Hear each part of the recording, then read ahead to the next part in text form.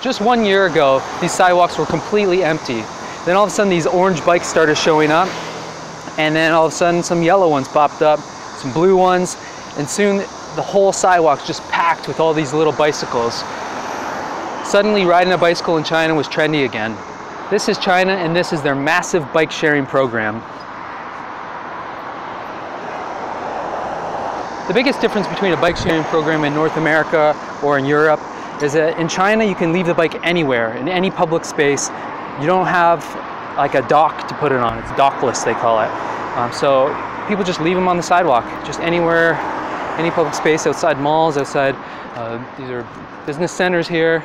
So here's how it works. I have an app on my phone for this company, Ofo, and I just open up the app. Basically I scan that code right there, and then either I can unlock it with Bluetooth through my phone, or I can just get a number and type the number in. I don't know why I hide that, but boom, unlocks. So now it'll track where I ride. It'll track how long I ride. When I'm done, I lock it up and I pay for it. All through my phone. It's so easy, it's quick. You can use GPS to find the closest bike to you. Uh, and the best part is it's super cheap. It's like 15 cents for a half hour, something like that. Which makes you think, like, how are they making money off of this? One time there was about 30 different companies offering bike sharing. Uh, it's dwindled down a little bit, but there's still a ton, ton of competition, and that helps keep the prices down.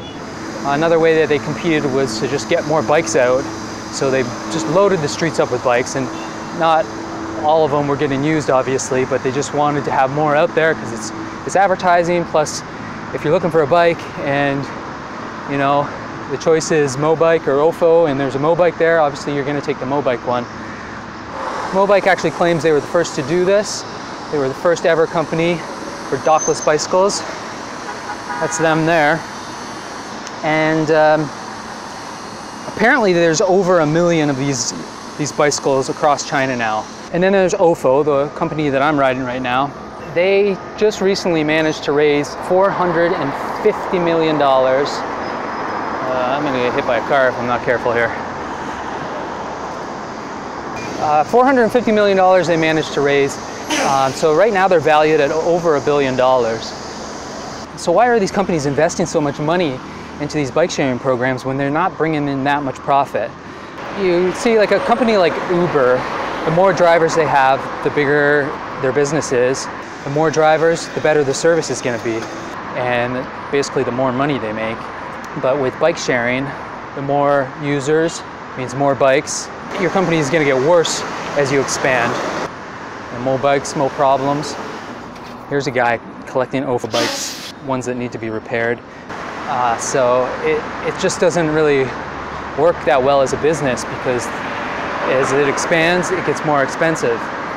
But that being said, the real value is in data collection, data mining, the information that we're giving these companies when we ride the bikes. Um, back in May, uh, there's a big holiday in China. It's a three or four day weekend. And Mobike put out a report after it saying, oh, here's some information about how people were traveling in China over this holiday. Um, basically, Mobike usage in Shanghai dropped and usage in Hainan or some other tourist places, they went way up. On the surface, the report didn't really have that much information, but it did tell you some things if you look deeper into it. For example, Mobike knows what sex you are, who you're traveling with, where you're going, even down to how fast you're moving. And all this information is valuable to people who want to know how people are spending their leisure time. That's the real value because over time, the more bikes used, that, that information is just going to be more accurate and it's, it's really what Mobike and Ofo are in the business of. It's not about renting bicycles, getting people to use bicycles and make money off of that. It's data intelligence and selling that information to advertisers so they can more accurately advertise to people and so they know where to advertise in certain times of the year, certain times of the day. The winner of this bicycle race will be the company that collects the most data over the period of time that they can stay open for. So is it a good thing? Is it a bad thing? Well, everybody seems to be behind it. The people are using the bikes like crazy. the government has introduced laws to support them, to keep them, you know, keep people from breaking them. Uh, and, you know, it, it's promoting exercise. It's, uh, whoa, bud. And it's, um, it's probably good for the environment. Um, one of the problems is all these like bicycle graveyards are popping up in all the cities. Um, so I don't know. I, I think it's great. For me, it's, it's really handy. When I was traveling, I use this a lot and I found it really useful.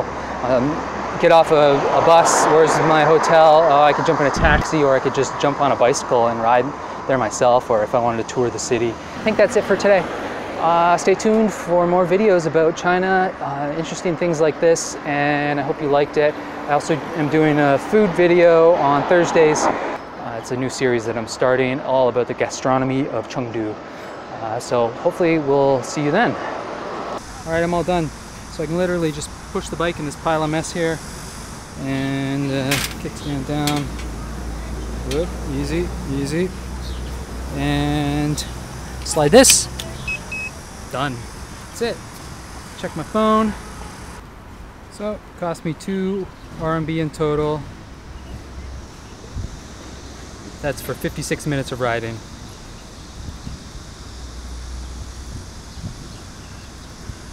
That's it, you paid. Just gotta push one button.